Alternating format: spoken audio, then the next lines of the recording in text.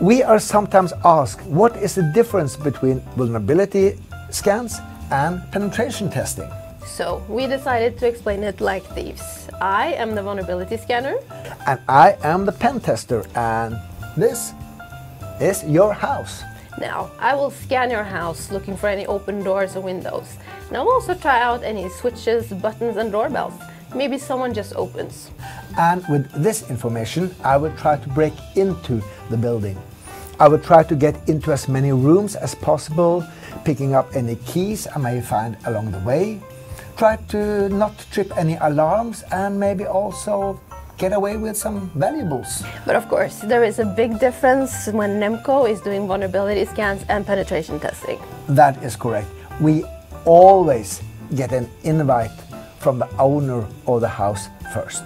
But when invited, We're good.